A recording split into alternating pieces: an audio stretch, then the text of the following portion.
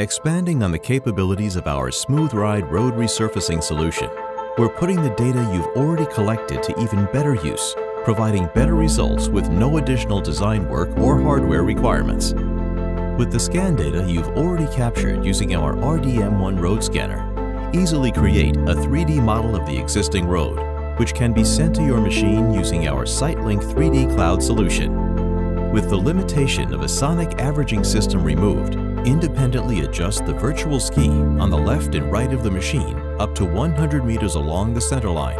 The system automatically compensates for roughness even further ahead on the surface, providing tailor-made parameters to fit the application and customer needs.